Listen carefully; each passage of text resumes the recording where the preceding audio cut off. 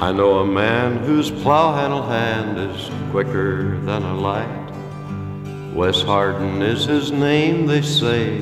He travels in the night, for he might have to kill or walk around to fight. And if you ever saw Wes Hardin draw, you know he can skin his gun. He won't say how many tried and died up against the top hand, up against the wrong man, cause Hardin wouldn't run.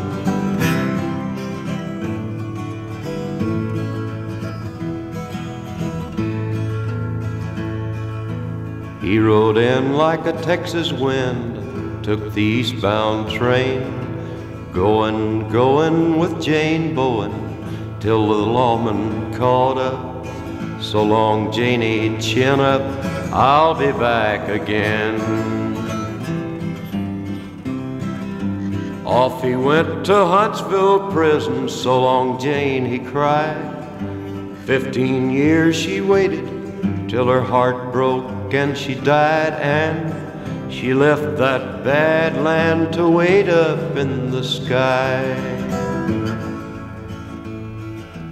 Free at last, the pain passed for all the wrong he did.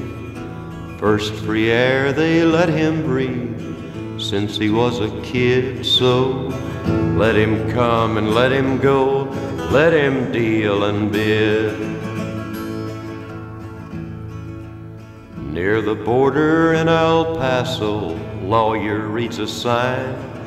You won't find him there for business every day at nine for business is real bad. One client's all he's had in quite a long, long time. Then Sheriff Selman's boy broke into Wes's woman's place. Up she jumped and pistol whipped him, kicked him in the face, and John Selman demands revenge for this disgrace.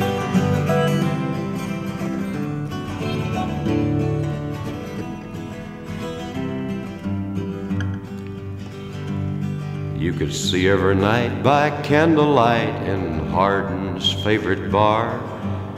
She'd be hanging on his arm, and very late they'd leave there, headed for the goose hair glad it wasn't far.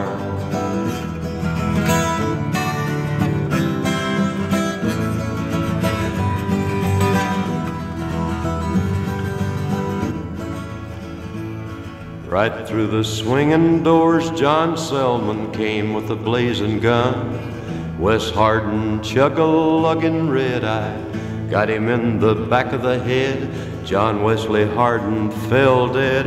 Hardin wouldn't run.